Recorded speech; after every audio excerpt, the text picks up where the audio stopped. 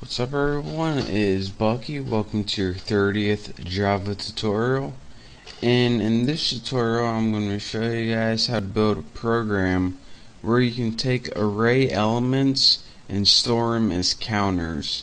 Now we already built um, a little random number generator where we rolled a dice and we stored those numbers. But in this uh, program I'm going to make it a lot easier and show you guys how to do it with an array. So we're going to be building um, a dice, rolling it like a thousand times probably, and storing how often each number pops up.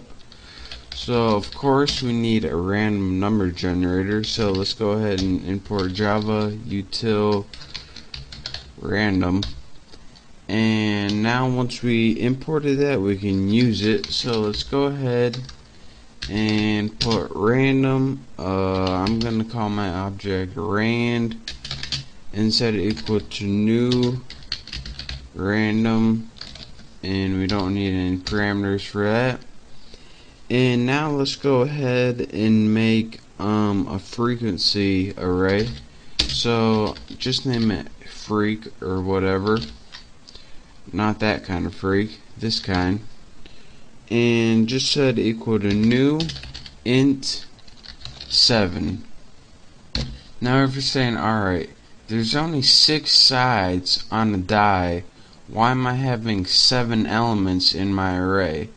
Well, we're creating 7 elements because, remember the indexes go from 0 to 6. 0, 1, 2, 3, 4, 5, 6. Since zeros include that seven elements. And we're going to have um, an array index of 0 and 1 to 6 that we aren't going to use. We aren't going to use 6, I mean, excuse me, we aren't going to use 0, but we need 1 to 6. So that's why we need 7 elements, so we can get 1 to 6. If we only created 6, then it would go from 0 to 5. So, now we can go ahead and make a for loop to roll the die a thousand times. So let's go ahead and put for and just put int roll equals 1. We'll start at roll number 1 and uh, let's put like roll if you want to roll a thousand just go put ahead and put a thousand. And of course go ahead and increment it by one. And again this just um, loops this a thousand times. So you should know that but what I want to teach you guys is this anytime that that roll pops up actually let me go ahead and write the line of code first and then you can see exactly what's going on.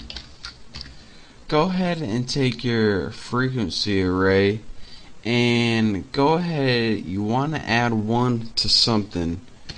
You want to go ahead and put your random number generator in this and ours was named rand dot next int and of course we want let's see 6 now let me show you guys what this does. This is the most important piece of code in this entire program. And let me break it down from the inside out. This is gonna give you the numbers 0 through 5 as you should already know. What this one does is shift it all over so you get the numbers 1 to 6 instead of 0 through 5. So if you're saying, alright, what's this then? What this does is add 1 each time that this hits that number. So for example, um, frequency 1, 2, 3, 4, 5, 6 are all set to 0 to begin with if this rolls and on the first roll it gets a 3, then freak 3 is going to equal 1. If it rolls again and has a 3, freak 3 is going to equal 2. If it hits again and again and again, freak 3 is going to equal 4, 5, and 6. And it's going to keep count of all of the indexes and every time that it hits that number it's going to add 1 to the index. So let me go ahead and um, well you'll see what this does. So, the first thing I'm going to add is a header so you guys actually know what's going on. Uh, let's go ahead and print line and let's just print something like face, the add tab, frequency, I don't know if I spelled it right, but it'll do, pig. That'll do. Four, and the last thing we need to build is just something to output our data. So the only thing we have outputted right now is a header that says face frequency. Next we want to make a table to show you guys face, here's frequency. So let's go ahead and again we need to start at 1 or remember the first number on the dice is 1 so face equals 1 and face um let's just have it less than freak dot length. Remember I showed you guys that in a couple tutorials ago. And just increment it by one and now what do I want to do in this loop? Remember this loop's gonna go 1 to 6 and it's basically just gonna make a uh, excuse me a table that has the list 1 to 6 so I want to put system out print line not print line. Can't get it. Print line. There we go. Finally. And let's go ahead and face because that's going to be the first variable we want output is just the face this is 1 2 3 4 5 and 6 the next thing we want output is just a tab to give some spaces. And then after that, we want to um, output the value of each array index. So put your array, name your array right there, and put your indexes right there. So let me um, run this program, make sure I don't have any errors and I'll show you guys what we got. We got a table that says face and frequency and again we got that just by adding this face frequency and then we have your array index number and your array value. Index number value. Index number value. And again, if you're wondering, alright, I know right here we created array with 7 and this equals 6.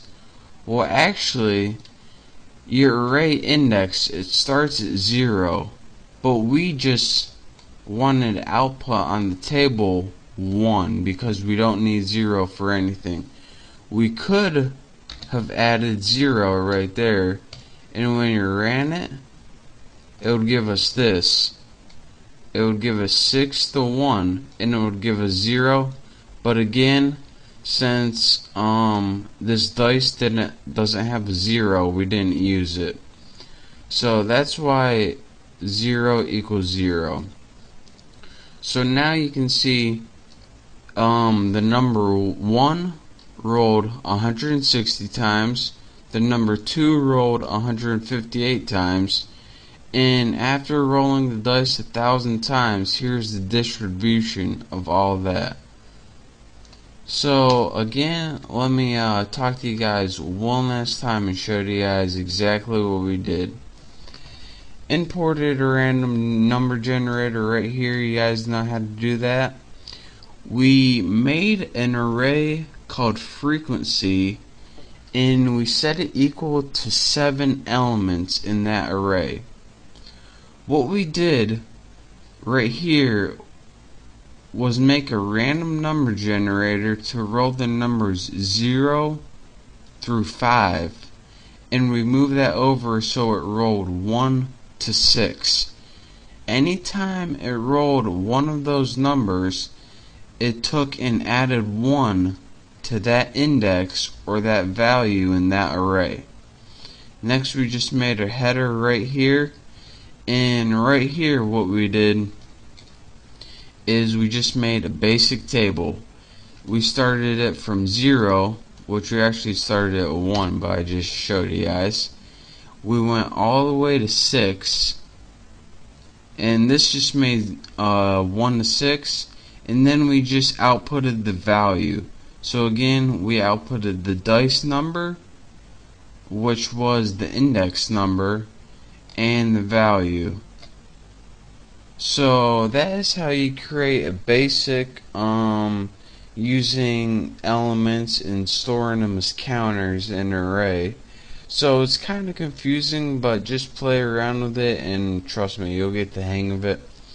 So thank you guys for watching my 30th Java tutorial. Um, there's going to be a lot more to come, so keep an eye out. Don't forget to subscribe to my channel and don't forget to check out all my latest contests.